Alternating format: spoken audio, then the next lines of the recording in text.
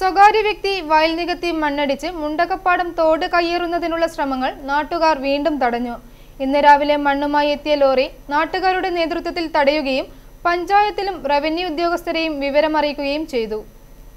നൂറു വർഷത്തിലേറെ പഴക്കമുള്ള അതിരമ്പുഴ പഞ്ചായത്ത് പന്ത്രണ്ടാം വാർഡിലെ മുണ്ടകപ്പാടം തോട് സ്വകാര്യ സ്ഥാപനങ്ങളും വ്യക്തികളും അനധികൃതമായി കൈവശം വെച്ചിരിക്കുന്നതിനാൽ തോടിന്റെ വീതി കുറഞ്ഞു വരികയാണ് കഴിഞ്ഞയാഴ്ച സ്വകാര്യ വ്യക്തി വയൽ നികത്തി മണ്ണടിച്ച് തോട് കയ്യേറി കരിങ്കൽ കെട്ടിയിരുന്നു. തോട് കയ്യേറ്റം നാട്ടുകാർ സംഘടിച്ച് തടഞ്ഞിരുന്നു. നാട്ടുകാരുടെ പരാതിയിൽ അതിരമ്പുഴ പഞ്ചായത്ത് അധികൃതരും റവന്യൂ വകുപ്പ് ഉദ്യോഗസ്ഥരും സ്ഥലത്തെത്തി നിർമ്മാണം നിർത്തിവെക്കുന്നതിനുള്ള നോട്ടീസ് സ്വകാര്യ വ്യക്തിക്ക് നൽകിയിരുന്നതാണ്. നോട്ടീസ് ലഭിച്ചിട്ടും സ്വകാര്യ വ്യക്തി വീണ്ടും നിർമ്മാണം പുനരാരംഭിച്ചു. ഇന്ന് രാവിലെ മണ്ണുമായി എത്തിയ ടിപ്പർ ലോറി നാട്ടുകാർ സംഘടിച്ച് തടഞ്ഞു. പഞ്ചായത്ത് പ്രസിഡന്റ് സജി തടത്തിലും വൈസ് പ്രസിഡന്റ് ആലീസ് ജോസഫും റവന്യൂ വകുപ്പ് ഉദ്യോഗസ്ഥരും സ്ഥലം സന്ദർശിക്കുകയും ചെയ്തു. കഴിഞ്ഞ ഒരാഴ്ചയായിട്ട് നമ്മുടെ പഞ്ചായത്ത് പന്ത്രണ്ടാം വാർഡിൽ മുണ്ടവപ്പാടം തോട് സ്വകാര്യ വ്യക്തി ദിനം പ്രതി കൈയേറിക്കൊണ്ടിരിക്കുകയാണ് ഇവിടെ വയൽ നികത്തി മണ്ണടിച്ച് തോട് കൈയേറാനുള്ള ശ്രമമാണ് നടന്നുകൊണ്ടിരിക്കുന്നത്.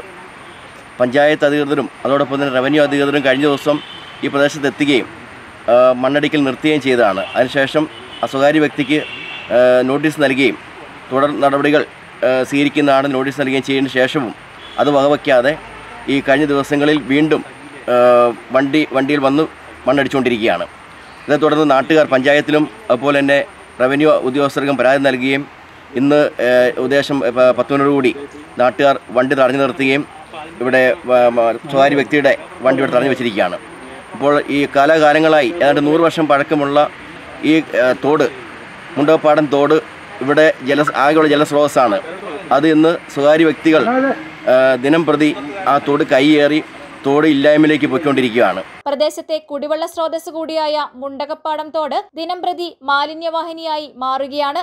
ഇപ്പോൾ മലിനജലമാണ് തോടിലൂടെ ഒഴുകുന്നത്. കടുത്ത വേനലായിട്ടും ഇത്രയും അധികം മലിനജലം എവിടെ നിന്നുമാണ് ഒഴുകുന്നതെന്നാണ് നാട്ടുകാരുടെ ചോദ്യം. അനധികൃത കയ്യേറ്റം മൂലം തോട് വീതി കുറഞ്ഞ് വരികയാണ്. തോടിന്റെ കയ്യേറ്റങ്ങൾ ഒഴിപ്പിക്കുന്നതിലും മലിനജലം തോട്ടിലേക്ക് ഒഴുക്കുന്നവർക്കെതിരെയും നിയമ നടപടി സ്വീകരിക്കുമെന്ന് പഞ്ചായത്ത് പ്രസിഡന്റ് സജി തടത്തിൽ പറഞ്ഞു. ഐഫോറി ന്യൂസ് ഏറ്റുമാനൂർ.